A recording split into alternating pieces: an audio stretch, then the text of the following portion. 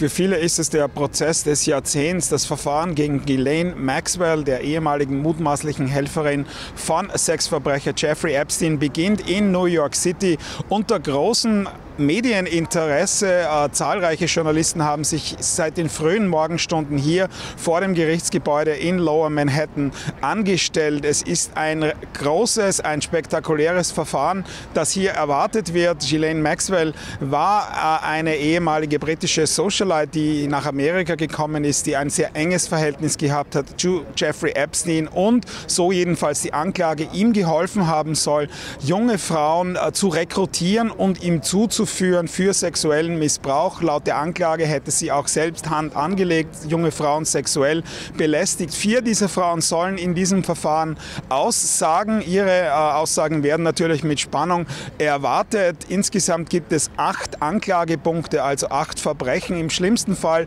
drohen Ghislaine Maxwell 80 Jahre Haft. Sie wurde verhaftet im Mai des Vorjahres, äh, ist seither mehr als ein Jahr lang jetzt in Untersuchungshaft in einem notorischen historischen Gefängnis in Brooklyn. Jetzt natürlich in den nächsten Stunden und nächsten Tagen ist ihre große Stunde gekommen. Äh, das Verfahren beginnt mit den Eröffnungsplädoyers. Hier wollen äh, sowohl die Ankläger wie auch die Verteidiger vorlegen, welche äh, Punkte sie ins Treffen führen wollen, während des Verfahrens. Natürlich entscheiden wird am Ende eine zwölfköpfige Jury, ein, äh, zwölf äh, Geschworene.